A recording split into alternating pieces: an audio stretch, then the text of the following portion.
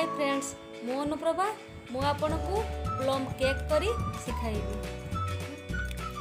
ପଚାଶ ଗ୍ରାମ ମଇଦା ଗୋଟେ କପ୍ କ୍ଷୀର ଗୋଟେ କପ୍ ଚିନି ଗୁଣ୍ଡ ଅଣ୍ଡା butter vanilla essence baking powder କାଜୁ ଖଜୁରୀ ପ୍ରଥମେ ମଇଦାରେ ହାଫ୍ ଚାମଚ ବେକିଂ ପାଉଡ଼ର ଦେଇ ଭଲ ଭାବରେ ଚଲାଇ ନେବା ଯେମିତି ମଇଦା ଓ ବେକିଂ ପାଉଡ଼ର ଭଲ ଭାବରେ ମିଶିଯିବ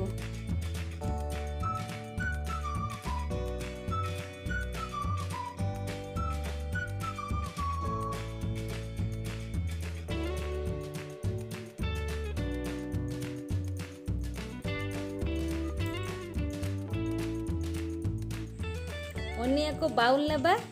ସେଥିରେ ଚିନି ଗୁଣ୍ଡ ଓ ବଟର ଦେଇ ଭଲ ଭାବରେ ମିଶାଇ ଦେବା।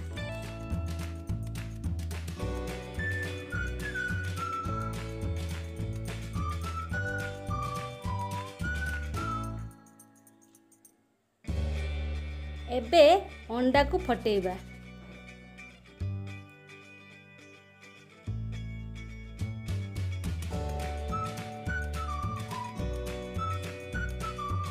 ଅଣ୍ଡାର ହଳଦିଆ ଅଂଶକୁ ଅଲଗା କରି ରଖିବା।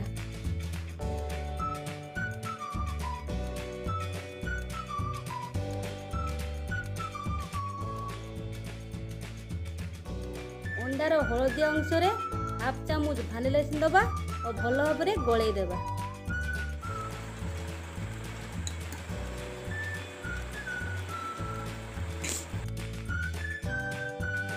ସମସ୍ତ ମିଶ୍ରଣକୁ ମିଶାଇବା ପାଇଁ ଗୋଟିଏ ବଡ଼ ବାଉଲ୍ ନେବା ସେଥିରେ କ୍ଷୀର ଓ ମଇଦା ଦେଇ ଭଲ ଭାବରେ ମିଶାଇବା।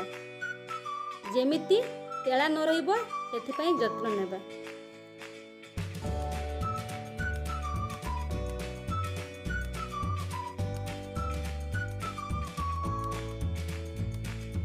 ସେଥିରେ ଆଗରୁ ପ୍ରସ୍ତୁତ ହୋଇଥିବା ସମସ୍ତ ମିଶ୍ରଣକୁ ଏଥିରେ ଦେବା।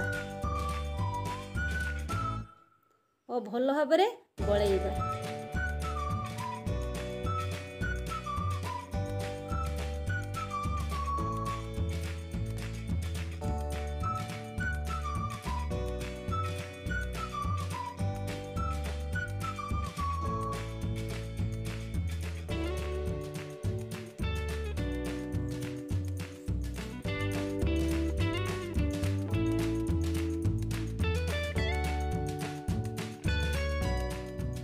ଅଣ୍ଡାର ନାଳ ଅଂଶରେ କାଜୁ ଖେଜୁରୀ ଦେଇ ଭଲ ଭାବରେ ଗୋଳେଇ ଦେବା।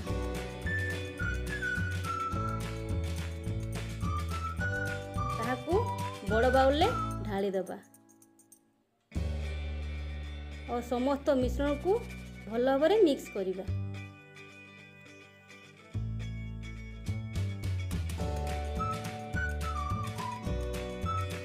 ଏବେ କେକ୍ କରିବା ପାଇଁ ଟିନ୍ ନେବା। ଏଥିରେ ବଟର ଦେଇ ଭଲ ଭାବରେ ସ୍ପ୍ରେଡ୍ କରି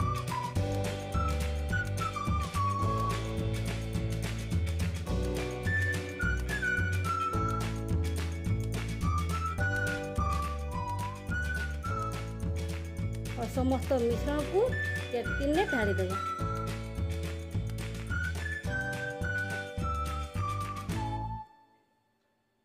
ଏହାକୁ ଓଭନରେ ତିରିଶରୁ ଚାଳିଶ ମିନିଟ୍ ପର୍ଯ୍ୟନ୍ତ ଆପଣ ବେକ୍ କରିପାରିବେ। ଯଦି ମୋ ରେସିପି ଆପଣମାନଙ୍କୁ ଭଲ ଲାଗୁଛି ତେବେ ଲାଇକ୍ ଓ ସେୟାର କରନ୍ତୁ ଓ ସବସ୍କ୍ରାଇବ୍ କରିବାକୁ ଭୁଲନ୍ତୁ ନାହିଁ।